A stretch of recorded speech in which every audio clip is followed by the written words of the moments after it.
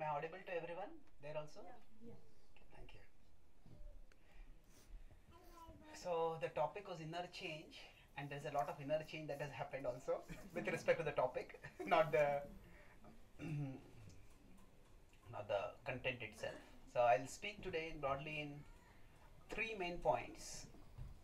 I'll initially start with a story from the Ramayana, briefly outline the story, and then what inner change requires and how that can happen. I'll talk about that. All of us, sometime or the other, feel that I should change myself. Maybe I want to become healthier, I want to become more disciplined, I want to become this, I want to become that. It's very practically no one in the world thinks that the way I am, I'm perfect. If somebody thinks like that, they are in perfect illusion. you know, all of us have such glaring deficiencies, and we all want to work on them. But somehow, we resolve to change and become a new me. And we change. We change for some time, and after that, while the new me is not looking, the old me comes back again. And we tend to revert to what we were before. So, this desire to change is something which is there within us, or at least it comes up periodically within us. But somehow to translate it into real life is difficult. So, what do we do for that purpose, and how do we go about doing it? Recently, there's the Rama, uh, the Ramnavami was there. So, some of you may have seen my book on the Ramayana, Wisdom from Ramayana on Life and Relationships. So, I'm writing a second book on that now, second part of the Wisdom from Ramayana. And so, in the Ramayana, there are many beautiful stories, and uh, some of the stories are very small, but if we go deeper into it, then we see that there is a lot of import to it. So when Lord Ram goes out in the forest, he goes twice. Does anyone know which are the two occasions? Yes. Any of the kids? When he went to, How does he go twice? Yeah, when he went to kill uh, this the Yeah. Yes? Um, when we went with, um, with, um, Vishwamitra Muni, Yes. and when he got exiled. Yes. So first he went for a service, and second he was sent out. Yes, thank you, thank you. So now, when the first time he went out, he's still a he's still a uh, young boy. Of course, he's eternal to the Supreme Lord. But while he's going to the forest, so they first go to Alvi- Vishwamitra's hermitage, and then they uh, protect Vishwamitra's sacrifice from the demons. Who are the demons? Maricha and Maricha, Subhahu. Subhahu, and one more. Tadaka. Tadaka, yes. Three of them, thank you. And then after that, Vishwamitra says, Let us go to the. Where should we go now?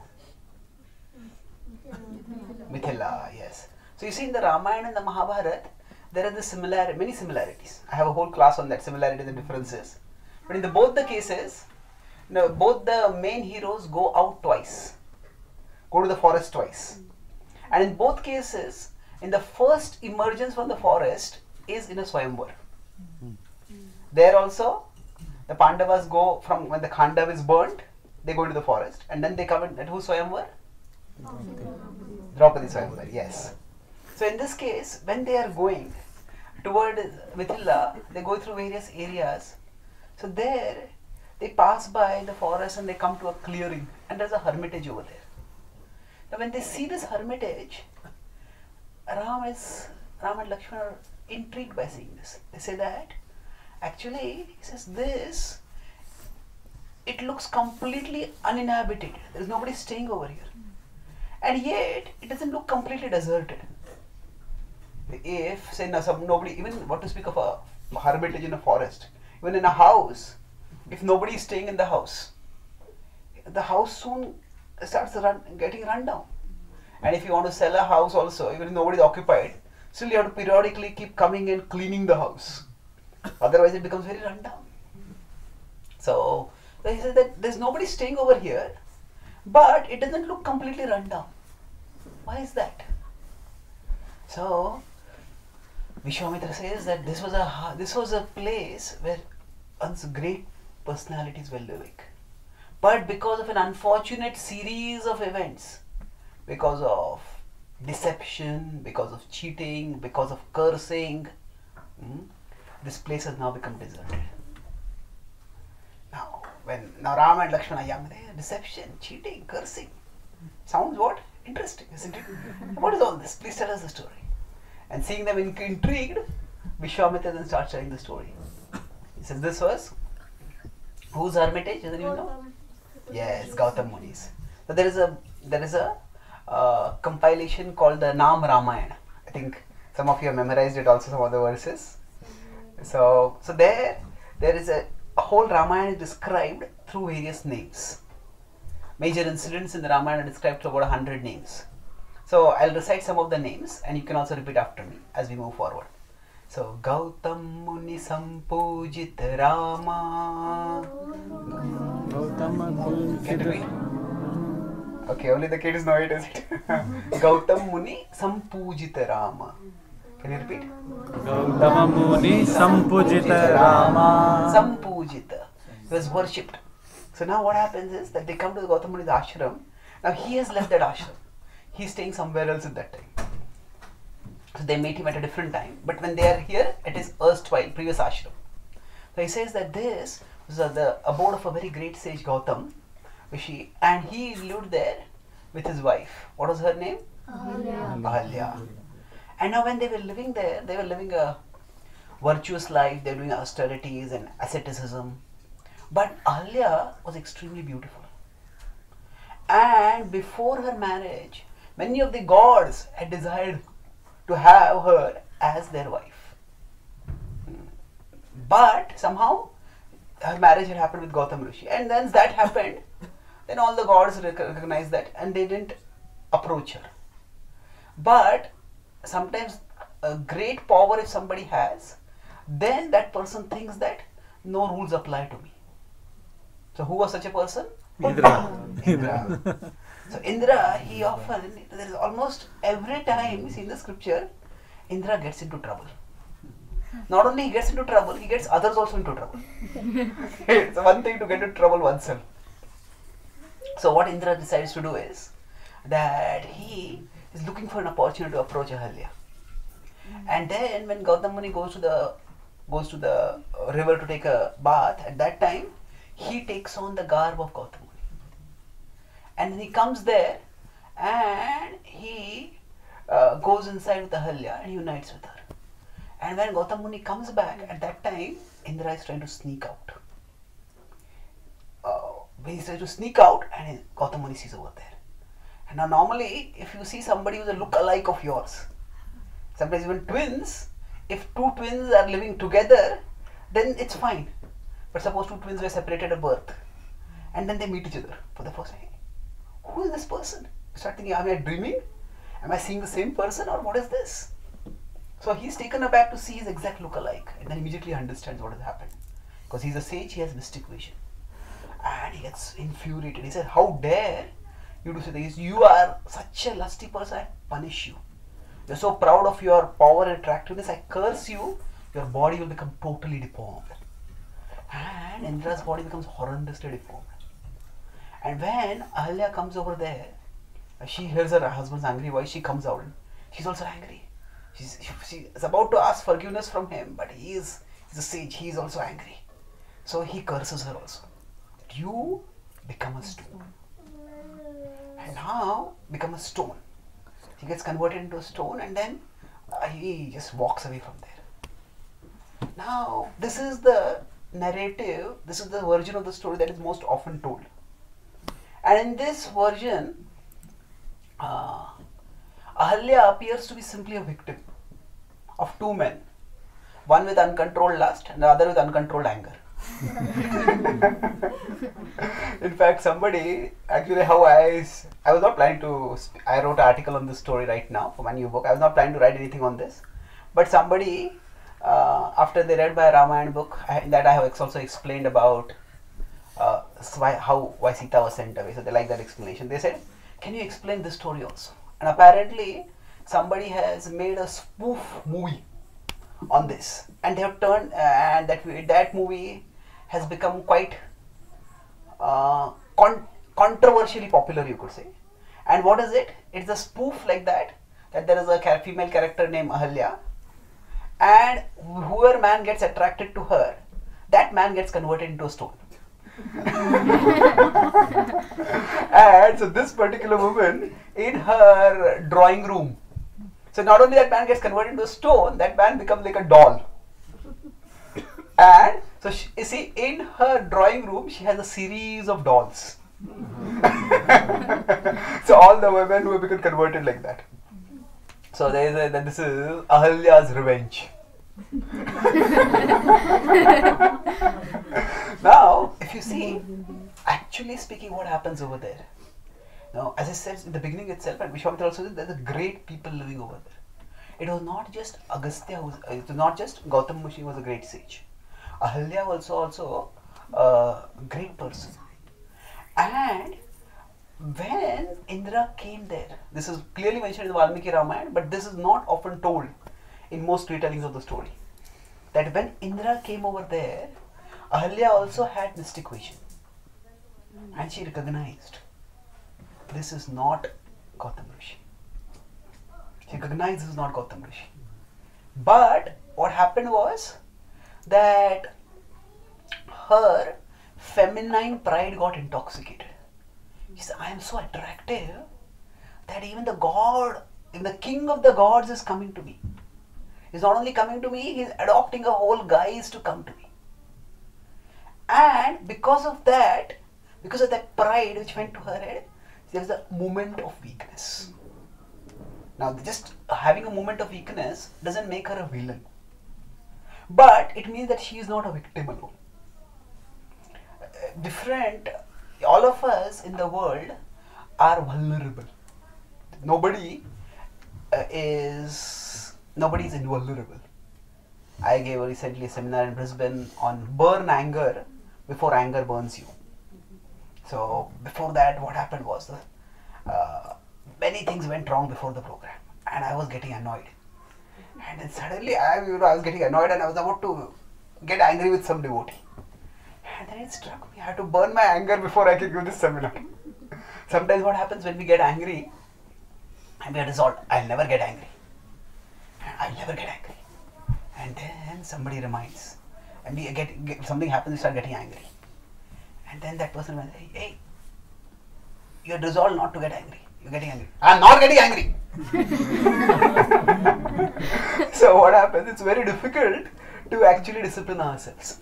So moments of weakness come upon everyone. And broadly speaking, the force of illusion, Maya, attacks different people in different ways. So now, of course, this is a gender generalization, and generalizations are never absolute, but they are broadly indicative. So, broad happens is men desire women, and women desire the desire of men. Men desire women, and women desire the desire of men, and both need to be regulated. So, whenever, say, a bond is formed, a marriage is formed, say, every bond comes with a boundary. There cannot be any bond if you say there is no boundary to it. So, every bond means there is a boundary. So, for men, the, the, their weakness is the desire for women. So, that has to be regulated when you get married. For women, it is to attract the men have women have the desire. Their weakness is what? To attract the desire of men. So men desire women, women desire the desire of men. Now this is again, as I said, it's not universal, but it's broadly indicative. Uh, I have started traveling abroad for the last four five years. Before that, mostly I was in India, and India also, I was in mostly in Pune and Mumbai. So I was living in a very, you could say, protected zone. So then I started traveling abroad, and mostly, at least in India, in traditional culture, in traditional societies, women they very easily once they get married, they shift to a maternal role, and then they focus on that particular identity and that particular service. Now, when I went to Australia for the first time, I was doing a college program, and some students, some good students were there, and there was young Mataji. She was uh, she she was making the announcements, and she was very smart, intelligent. So after the class, I asked her, uh, "Do you study here?" And I couldn't understand. My class, my question made her so happy. And then then she just looked at me. She was so happy. Then then suddenly one small boy came running to her and says, "He's my son." So he said, "I passed out 10, uh, 10 years ago from here." so later on, another devotee, I didn't understand also at that time. Another devotee told me that she was so happy because I thought she was young enough to be a college student.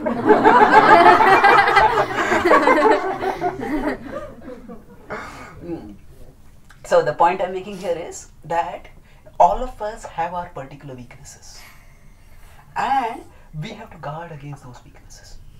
So Ahalya, in a moment of weakness, she gave in to the pride that Indra, the god of heavens, has come to me. And so when mm, when Ahalya was cursed by Gautam Rishi, it was not just because of the transgression. If, if she had just been a victim, the curse would have been unfair. But she also gave her consent. So basically, when we talk about inner change, that's our topic. So as the story goes on, after Ahalya gets converted into a stone, then Gautam Muni just gets disgusted and walks away from there. But although Ahalya has made a mistake, she is not condemned. That's why what happens in that hermitage, now Vishwamitra is here, Vishwamitra points. He says that just see that you can see this whole hermitage is deserted, eh, is abandoned. But there is only one place where something is growing. And there was a stone, and on that stone, Tulsi was growing. So that, that Tulsi was growing on that stone. He says, Vishwamitra said, This is Ahalya. So she was not condemned. Tulsi is considered very sacred. And that Tulsi was growing on the stone which was her current body indicate that she was not condemned. She was still considered all her past holiness, all her past uh, mm, beautifulness, all her past dharma, it was there. And thus, he said that, and Vishwamitra said that she has been waiting, O Ram, for being blessed by your lotus feet. So, your lotus feet. Now, Ram normally, throughout the Ramayana, does not act like God. He acts like a normal human being, and as a normal human being, he focuses on he focuses on doing his duty. So here he doesn't claim that I am God and I am going to bless her. But he says, because Vishwamitra Muni has instructed him, so he goes accordingly. And as soon as he goes and touches the stone, just with his feet, he just gently touches the stone. And what happens? Immediately there's a transformation, and Ahalya manifests over there.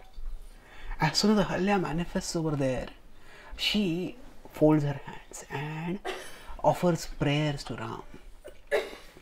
And Ram, Vishwamitra, Lakshman, all of them are observing, and in front of their eyes, after offering prayers to Ram, taking his blessings, she departs for an elevated abode. So, all her good activity that has done, they are not lost.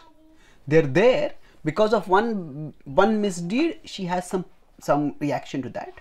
But all her good deeds also stay with her, and they elevate her to a higher destination. So, uh, I was giving a class in Australia. I just came from Australia, uh, so I was giving to a Western audience, and this one, and the diff- they were asking different questions. So, what happens? People who are completely new, many of our rituals can seem very strange to them. So, when one of the Western, I was in a, at the top of a hill, New Govardhan, where they have many Western people who come and stay in the broad temple, not premise in the temple, but in the temple premises. So there, when they were asking some question, they said that they had various very, very you could say puzzling questions. Why puzzling? It was puzzling for them. They said, uh, when you blow the conch, why does everyone kiss the floor? we bow we bow our head down. So why does everyone kiss the floor? so when you put the head down, they thought kiss the floor. And they said, I uh, so the other thing they asked was that. Know, I've heard that you take the dust to the feet of God.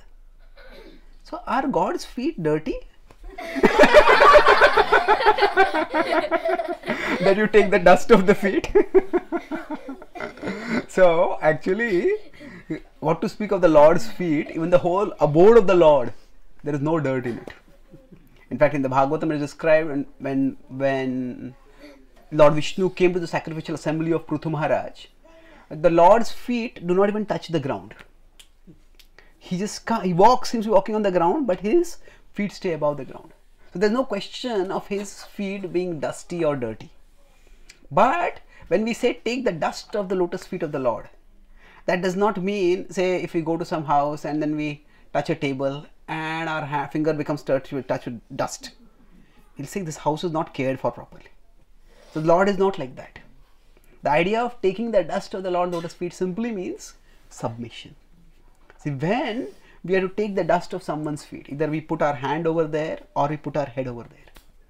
So, you know, our hand and head are normally two, two tools of power for us.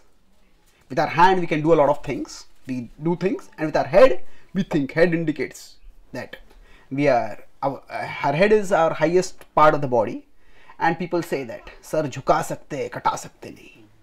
You know, we'll we'll cut off our head. नहीं, sir, कटा सकते, झुका सकते नहीं. So we'll cut off our head. We'll not bow it down. So the head is considered the highest part of our body. So when we put our hand or our head down, hand is what we do with which we do all the things in life. But okay, these hands I'm putting over here. That means whatever I can do, that is insignificant in comparison to what God can do.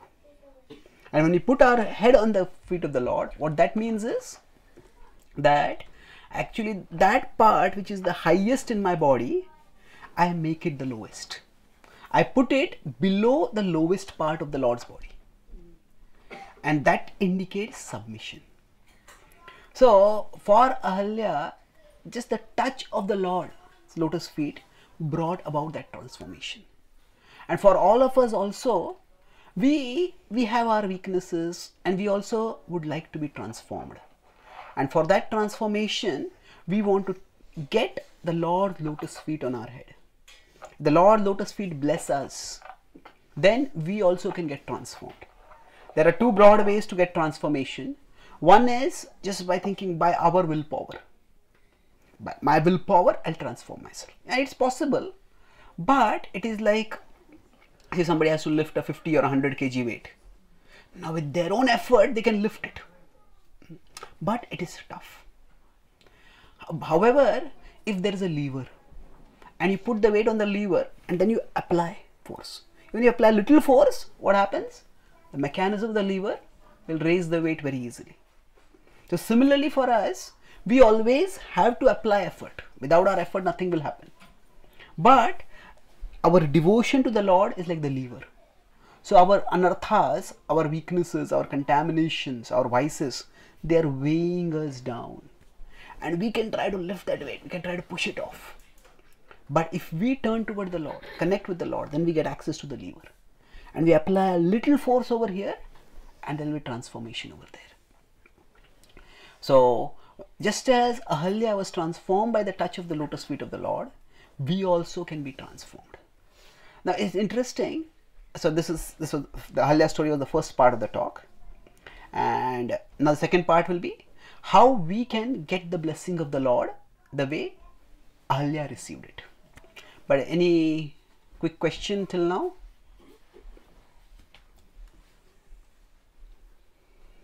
How long Ahilya remained a stone and what was her previous devotional credits her life? That's not a short question. Maybe I'll talk personally if you don't mind. It'll take a little time to explain. Yeah. When you said the Lord doesn't walk on planet Earth, then uh, how how do we see so many footprints of the Lord? No, that's what I said that in that particular pastime. It's not in that in the Prithu Maharaj's pastime. When he appeared, he uh, he did not touch the feet of the Lord. He did not touch the soil. I think there's a difference between when the Lord descends uh, as a um, descends in response to someone's prayer or in some sacrifice, and when the Lord descends as an avatar. When the Lord descends as an avatar, definitely his feet do imprint, uh, create imprint. But when he comes just as a response to someone's prayer, that time, at least in that particular pastime, it's like that. Thank you. Yes. And at the beginning of the talk, you said that um, you always want like some change inside you, and you, rarely you find you can find people that are perfect. Well, if you you want their change in you, so you are perfect, so, can, you can be perfect. So can you explain that to everyone? Okay, good question. So what you're saying is that we want to change so that we can become perfect, but nobody is perfect. Yeah. So how to reconcile the two? Well, there are different meanings of the word perfect. The when we say perfect, uh, if if Srila Prabhupada used this example in Ishopanishad, that was Om Purnamada Purnamidam Purnat Purnamudachyate Purnasya Purnamadaya Purnamevavashishyate. So he says we are dependent complete and Krishna is the independent complete. So what this means is, say if this is my hand, the hand is a part of the body. Now the hand will be perfect when it can grip nicely, it is flexible, it, it has strength, it has resilience. So the hand's perfection is when it is able to do whatever a hand is meant to do. But the hand will never be able to do what the head is meant to do or what the stomach is meant to do. So, so even when we become perfect, that doesn't mean we have all abilities. When we are perfect, that just means that what we are meant to do, we are able to do. So we will all still have some limitations. Arjun was a great archer, but Arjun didn't have the mace fighting expertise that Bhima had. Arjun also knew Shastra, but he did not knew scripture as well as Yudhishthir did. So each of them was perfect for the role that they were meant to play. So when we say that we have weaknesses that we are meant to overcome, that means that what we have been given by the Lord, we have certain abilities. But because of our weaknesses, we can't use those abilities. So say if my if I got a cut on my finger or if a finger is stubbed, stubbed or whatever, then I can't lift things with it. When the finger becomes healed, then I can use that hand for whatever a hand is meant for.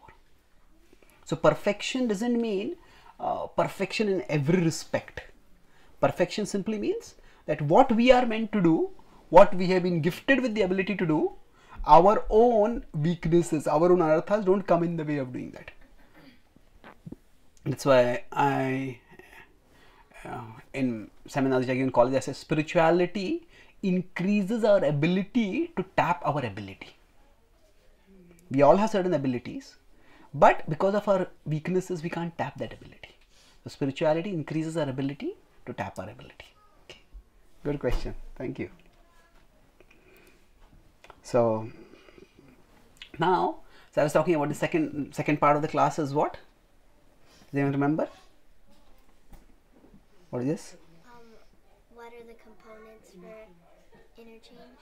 Yes, how we can get blessed by the Lord and how we can change ourselves. So there'll be three I's in this, or three IN basically inclination, intelligence, and intention. Hmm. So in the Bhagavatam, often those who do not have devotion to the Lord are said to be stone hearted. Pashana kashta, pashana kashta, like a like a stone or like a piece of wood. If somebody doesn't feel attracted to the Lord, so now if we see a stone is among the most common objects around us, which is seen, which is said to be lacking in consciousness, lacking in emotions. So, so if somebody, if there is some terrible thing has happened and somebody doesn't feel any emotion at all at that time, then you say, how can you be so stone hearted? So, an inability to feel emotion is what characterizes a stone. And similarly, a, a person who does not experience emotions, that is, person who is stone hearted. So, what Ahalya's cursing represents is that that because she acted in a stone hearted way, she did not consider her relationship with with her husband. She did not consider her dharmic duty. She deadened herself to her higher emotions. And the result of that was she became a stone. Similarly, for us, when we deaden ourselves to our higher emotions, then we lose that capacity to experience those emotions. We lose that capacity. And if somebody is a butcher and say they have a family of a tradition of butchers in their family, then say the butcher cuts animals and then the butcher gets one's children. Maybe gets his son to also to the to the slaughter place. Now some people say that actually you know what is wrong with eating meat? Is it that uh, you, you you kill vegetables and we kill animals. You're also killing we are also killing. What is the difference? Well yes both there's killing in both but there's a big difference. Even from a scientific perspective the nervous system is much more developed in animals than in plants. And animals feel far more pain than, than plants do. And especially when we take fruits from plants there is no there is no violence at all. The fruits just fall when crops grow up if the crops are not cut the crops will dry out. Or the crops when they blossom they are nearing the lifespan's end. Whereas animals when they are slaughtered they are at the prime of their life not near the end of their lives. And if somebody says no no no this is just natural nature's arrangement and we can ask a simple question okay so if your child is in school and your the child comes and says our teacher said today that we are going for a field field trip he says where? he says we are going to a farm to see a harvesting festival. Oh yeah nice. You can go and see how the crops are harvested. But if your child comes and says oh our uh, we are going to a field trip to a slaughterhouse to see how animals are slaughtered how many parents would want their child to go to a slaughterhouse? Now, if you go to a farm for harvesting, there is a mood of celebration, of jubilation. Nature has opened its heart, opened its arms, and given us gifts, and we are gratefully accepting the gifts. There are almost in every culture there is a harvesting festival. Hmm? In very few, if any culture, there is a slaughtering festival. Slaughtering, especially mass slaughterhouse slaughtering where butchers kill animals en masse, that's ghastly. So the point I'm making over here is that when a butch, I was talking about how our consciousness becomes like stone. So initially, when a butcher is killing animals and the butcher say gets his son over there, when the son sees an animal, you know, maybe a chicken or a goat or whatever, the son is told kill like this. His hand trembles. No, I can't do it. But then he kills once and oh, sees all the blood splattering around. He's shocked. But it's the second time, third time, fourth time, and after that, they kill animals like we might cut sabji. They're chatting with each other. Tuck, tuck, tuck. And while killing animals, what has happened? Desensitization. So, we all have the capacity to experience higher emotions. But when we choose to do an action that violates that emotion, then what happens? We stop experiencing that emotion. We stop experiencing that emotion. That is desensitization. And this desensitized, so with with respect to the animals, the butcher has become stone-hearted. So our theme is about stone and stone-heartedness. And now even Tukaram Maharaj is a famous Maharashtrian saint, and he says that when a butcher kills animals.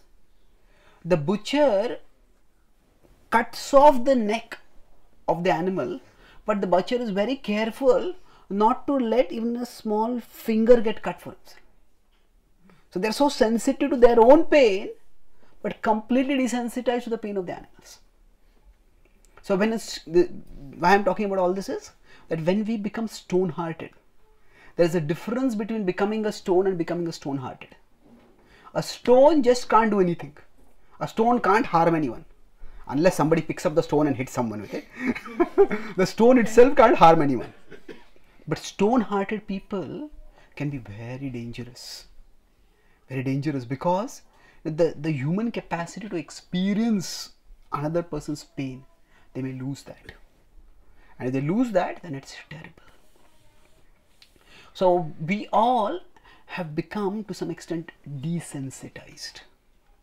We have all become stone hearted with respect to the Lord and with respect to many other things. Just as Ahalya from a stone became a conscious being, we also want to change ourselves from being stone hearted to being soft hearted. And for that, there are broadly three things. There is, as I said, intention, sorry, inclination, inten- intelligence, and intention. So, inclination means what? Like uh, this whole, what I was talking about till now was about inclination. We all have certain inclinations that we are born with, and all these inclinations grow over time. So by our choices, certain inclinations can grow and certain inclinations can stay as they are. There are two kinds of people in the world. Some people are wise and some are otherwise. so, how did they become like this? That's also by inclination. If somebody keeps acting foolishly, that's how they gradually become foolish. Somebody keeps acting wisely, gradually they become wiser and wiser. So, by inclination, I mean that it is that they don't even have to think about it, it just comes automatically. So, for example, say if we come from a cultured family, if, if say we're walking and our foot touches somebody's body, then immediately our hand goes and we touch it to our head. I'm sorry about that. Now, nobody, we don't have to consciously think, oh, this is a person and that that body is, the Lord is present over there, that's why their body is sacred, I shouldn't touch their body. We don't even think about it.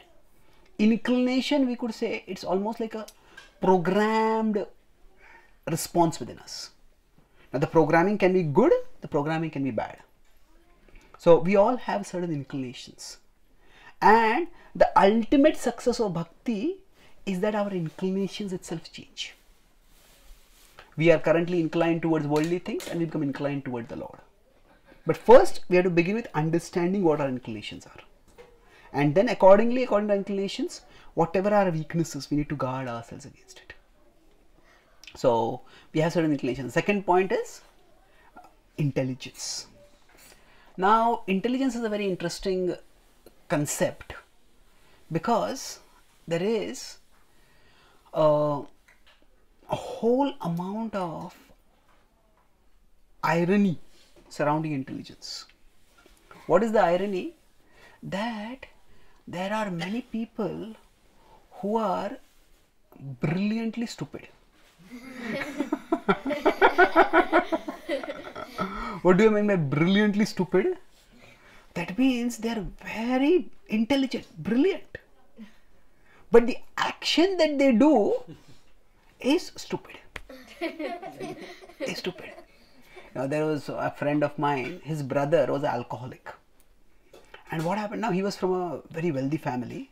So, whenever this person would go, you know, even if he had no money, so he was alcoholic and he was trying to recover from alcoholism. So then they had told all the bars over there that you know please don't serve him anything. Hmm? And they would not have money with him. But even if he would go because such a wealthy place he was, he was from a wealthy family, so they would still give him even if he had no money. So then they told specifically all the bars don't give him anything. So what he would do is, so one day he said, I just want to go for a ride. And he went for a ride and then he said, Oh, my car is broken down. I need a tow. He called up. And then they towed the car and they brought it back. And then normally if somebody is alcoholic, then there is somebody who monitors them because you know they might go out and they might again if they're trying to recover, but it's almost like the urge keeps coming again and again. So one night, this this devotee he woke up and he saw his brother was sneaking out somewhere, and he followed him. Where is he going? He went to the car, and then he opened the car gas tank, and then he had got a straw, and he put the straw in the car gas tank, and he was drinking from there. so, so what he had done was he had he had actually gone to a bar somewhere far away where they did not know that he was alcoholic. There was no bar for him. And he had got bottles of alcohol and put it all in the car tank. And then he said i car can't move.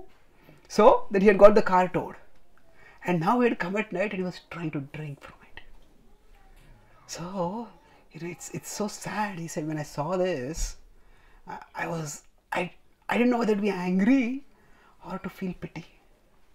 Because I realized normally when we when, when somebody keeps doing something which uh, which they say I will not do, which we also tell them don't do it, but they keep doing it. We sometimes feel that this person has no willpower, has no integrity, no character, no intelligence. But it's not like that. See, when sometimes we become conditioned then that conditioning torments us. When it torments us, then we just pushed, push, do this, do this, do this, do this. So now, actually getting alcohol in a car gas tank, that is the example of being brilliantly stupid. it requires brilliance to think of such an idea. To get get, alcohol like that, it's stupid. So our intelligence can be very very resourceful to do certain things, but what it will do, that purpose we need to have clearly. So for us, when we start practicing bhakti, when we study scripture, when we understand scripture regularly, then our intelligence becomes spiritualized. Then that means the intelligence starts becoming creative and resourceful for doing good things, for doing constructive things. And that's how we can move forward in our life. So, whatever intelligence we have, we use it for serving Krishna. And we try to find a come out with creative ways of how we can serve Krishna. And rather than seeing bhakti simply as a ritual that I have to follow, you see, you have to, you have to use our own intelligence to think how can I serve Krishna. And if we start using that, Krishna will give us so much creativity. Krishna will give us so much creativity about how we can serve. Now, we all uh, often participate in Rath Yatra festivals. Now, how Prabhupada started the Rath Yatra? Actually, Prabhupada was just chant. He was in San Francisco and he was chanting, and he was sick actually. So he was chanting in the. He was staying in a house, like an upper story, and he was chanting and walking, and he looked out, and there he saw a, a truck with a flatbed. And just by seeing that truck, he thought, hey, we can put Jagannath Baldev Subhadra over here.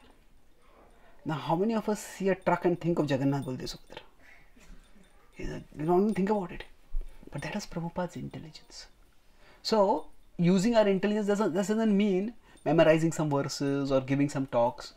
Intelligence means we try to become creative. How can I serve Krishna? And we start doing that, we will get stimulation. We will get set. We'll, we'll get inspiration. We'll get satisfaction. So, how can I do good? How can I contribute to my own spiritual growth, to others' spiritual growth? When we start using our intelligence in bhakti, bhakti will start becoming uh, lively for us. If you think of bhakti simply as a ritual, oh, I have to go to this program, I have to chant this round, I have to do this puja. Once you are thinking of that as a ritual, then we will not we will not be able to stay connected for very long. We'll start getting bored very soon. But this will bring if we start using our intelligence, I said, intelligence doesn't necessarily at all mean just memorizing verses. If we can, that's wonderful. Intelligence simply means that whatever we are doing, we try to become more creative. How can I do this better for Krishna? How can I do something better for Krishna? And what are the last? Intention. Intention, Yeah. Now, intention means that we ourselves should want to change? Let me say, obviously, I want to change. Yes, we all want to change, but the problem is that we don't maintain that desire. So, we want our inclinations to change, that is going to take a long time. It's definitely going to take a long time. Intelligence, we can start using it creatively, but intention is what if we maintain, then we will find Krishna's reciprocation. I'll conclude with two examples to talk about his intention. See, sometimes, as I said, we make some resolution. I will do this, and then do it for some time, and after that, I can't do it. We give up.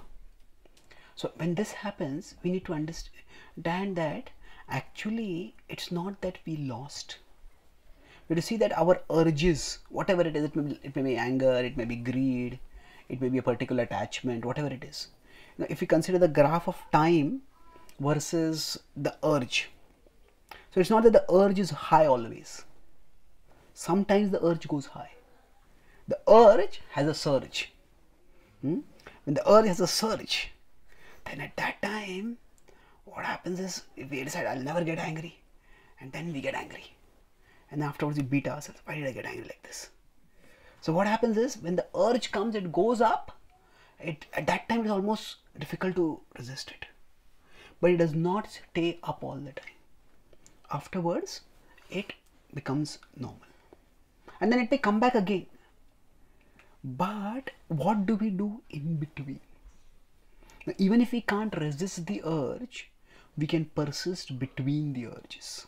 Even if we can't resist our urges, we can persist between our urges. Yes, I didn't want to do it, but I did it. Okay, but what do I do after that? If I keep beating myself up, why did I do that? Why did I do that? Why did I do that? Then what is happening? I'm not doing anything to strengthen myself. So, yes, sometimes because of our past inclinations, past conditionings, the urges may come up and it may be almost impossible to resist at that time. But you don't have to become disheartened. We may fall down, but we don't have to fall away.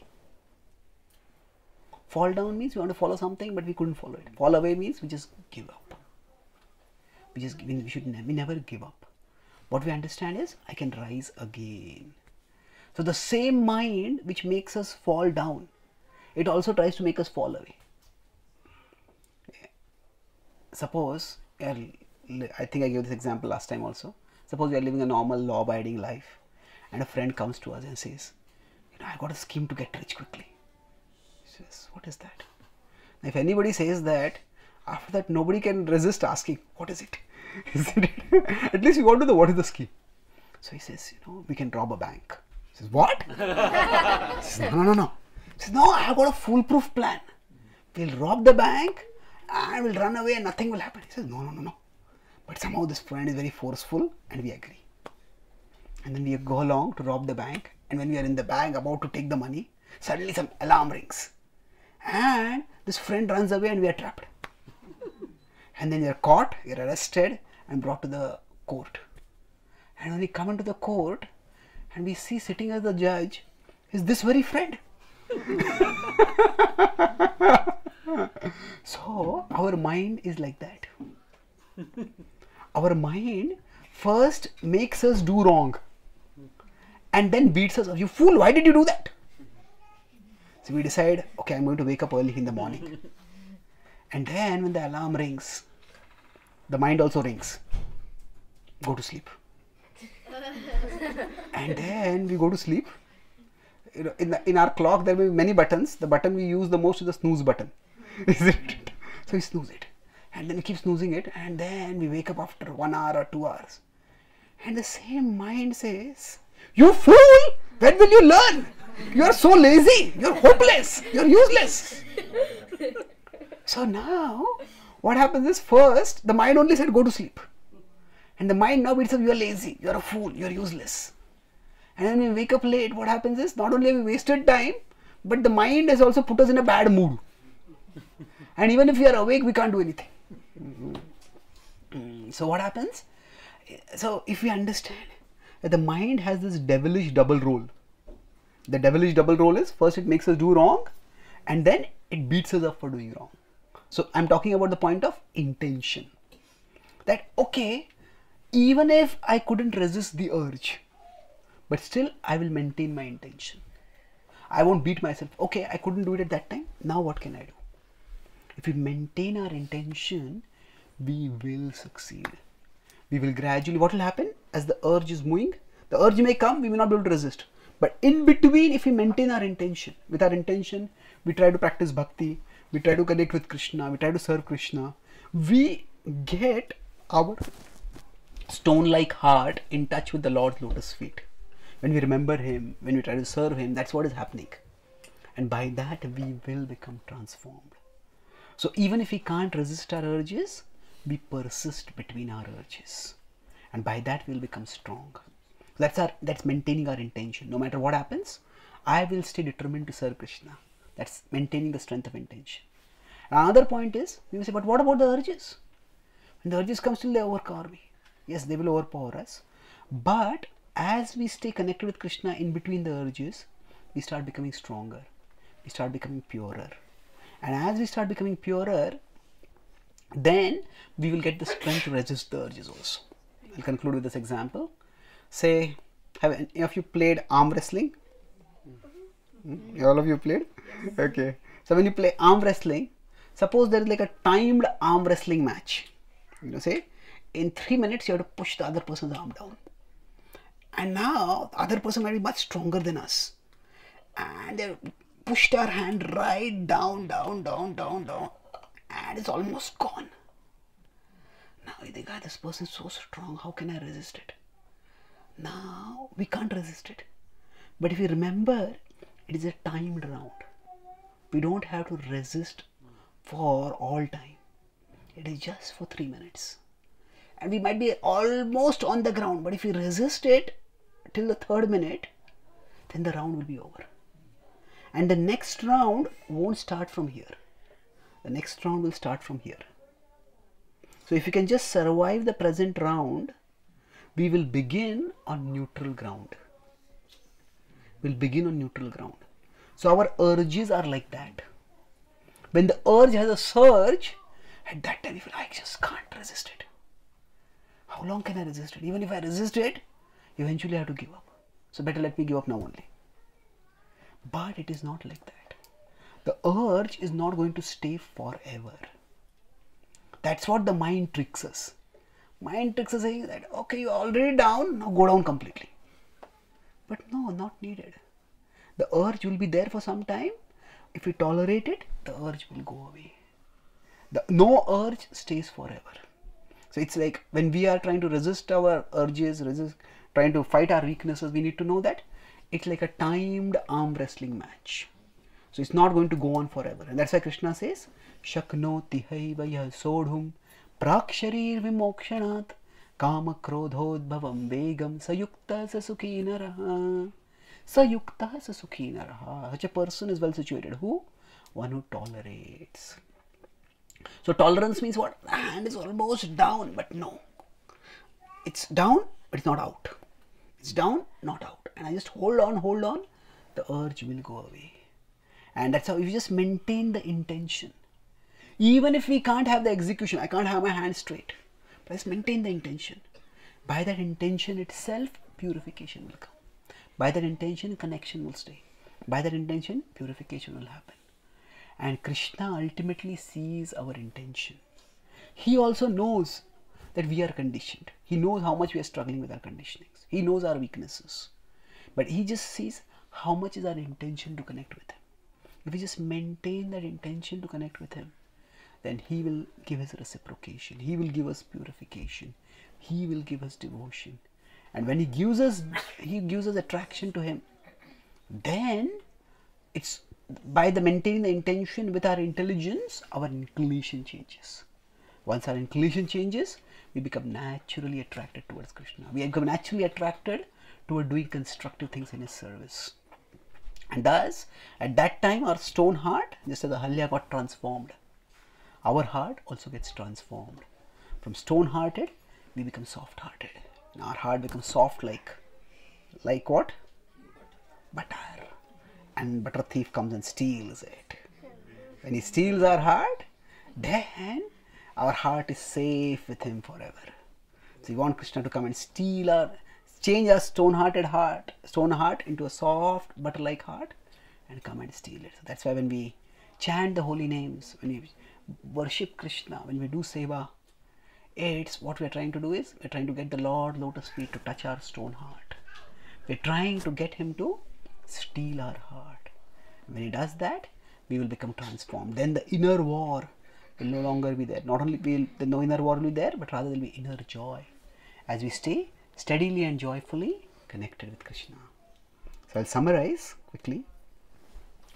I spoke on this theme of inner change and I started how we want to change, but something changes us back to the original, although we change for the new. So why does that happen? So I talked about the story of Ahalya, how she gave in to a moment of weakness. She's not a victim, she's not a villain. She is in between, like all of us. We are not entirely bad, we are not entirely good. We have we are in between. So her weakness was that she felt proud that a person as great as Indra is coming to attracted to me. So, sh so when she became desensitized to her higher duties, to her relationship with her husband, to her dharma, then the desensitization led to her getting completely desensitized and becoming like a stone, becoming a stone. And uh, Lord Ram's lotus feet coming and touching his, uh, touching her stone body, transformed her. And what happened historically, and when Lord Ram came, that can happen in our hearts also.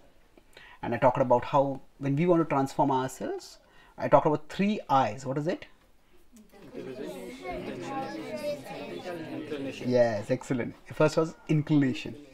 That we are naturally inclined towards certain things. And this is almost like a programmed response. It, some, some of it can be good, some of it can be bad. And we and by the way we act, we also shape our inclinations. It's like a animal slaughtérer's son first doesn't want to kill, but then habitually starts killing because they become desensitized. A stone can't do can't harm anyone, but a stone-hearted person because they're desensitized towards some people, they can do a lot of harm to others. So when we when ultimately we want to become purified and have our inclination toward Krishna. Right now we need to be aware of our inclinations so that we can guard ourselves. And I talked about intelligence is that some people are brilliantly stupid. They use their intelligence to fulfill their lower desires, like using a car gas tank to have alcohol within it. So, what we need to do is instead of thinking of bhakti as a ritual, we use our intelligence to creatively think how can I resourcefully serve Krishna. Then, when we start using our intelligence like this, our bhakti will become stimulating for us. And then last was intention. I talked about how our urges sometimes they may overpower us, but the urge are not always at the same level, they sometimes surge. And even if we can't resist when the surge happens, even if we can't resist our urges, we can persist between our urges. And I talked about this mind being like a person who first makes us rob a bank and then judges us and punishes for robbing it. Like we wake, don't my mind says go to sleep in the morning and then beats us up. Why did you? Why are you so lazy? So okay, even if we succumb to the urge, we don't listen to the mind after that. Okay, I will maintain my intention to serve Krishna, no matter how many times I fall. We may fall down, but we don't fall away. And then, not only can we persist between the urges, but we can resist the urge also if we understand that actually this surge in the urge is not going to last forever. It's like a timed arm wrestling match. If I just survive the present round, I will resume on neutral ground. So, by maintaining the intention to serve Krishna, even if we can't have execution right now, we attract His mercy because He sees the sincerity, the seriousness of our intention. And then, when He gives His mercy, just as He touched Ahalya and transformed, similarly, He can touch and transform our stone heart into a soft heart. And when He attracts our heart, like Krishna steals butter, He steals our heart, then our heart goes with Him. It's permanently safe and permanently joyful. Thank you very much. Hare Krishna.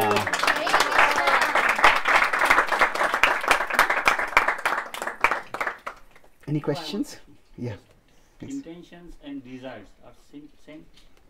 Uh, good question. Are intentions and desires the same?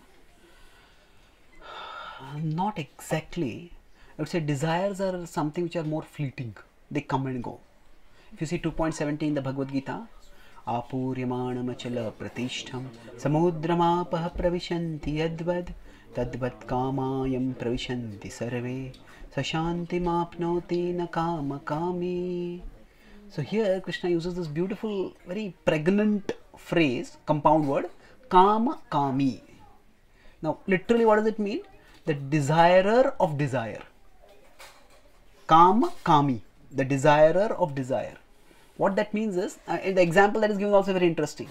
The example of rivers flowing into an ocean.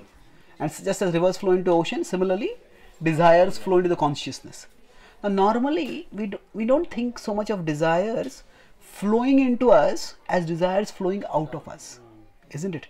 We see some object and we desire it. So, normally think of desires going out from us. So, what is Krishna referring to over here when it says rivers flowing in? So, what it means is that na kama kami. That means the desire comes. It's a you could not don't be a desirer of desire means don't don't you could say don't have intention toward the proposition. So the desirer of desire means desire means the temptation comes from outside, the proposition comes from outside, and intention is what I accept it. So I would say that desires we can't stop. Desires will just keep coming. Of course, when we become very pure, even the desires may stop coming. It's like say suppose some of some of us might have been eating meat earlier, but we start practicing bhakti now for a few years. Then even if we are traveling on a train or a plane and a neighbor opens some food with meat, mm, we don't think, oh, I want to eat this. You at least for that temptation, we can say our lips curl in distaste. at least for that it happens. So what happens when the desire has not come? But for most other temptations, desire may come, but the intention need not be there. If we start thinking that desire itself should not come, that's too difficult. It is we are trying to if we make that the standard, we will set ourselves up for frustration and disappointment. Desires will come because to some extent desires are biological responses. It's like on Ekadashi also maybe fasting. But if we see some food, some non-Ekadashi food, there's some mouth may water. Now if I start saying my mouth should not also water, that is a test of my purity. well, that may not happen. Isn't it? So we cannot deny uh, the there is the biological, there's the psychological, and there's the spiritual. So there will be certain biological responses which will automatically come, and the biological will come to the psychological level also. Just like say when you say desirable food, mouth starts watering, and the desire comes in. But by the spiritual intention, we can ensure that the biological doesn't take over the psychological completely. It may come in the mind, but we don't entertain it. That's why I said temptation may come, we don't have to welcome. okay, thank you. Any other questions?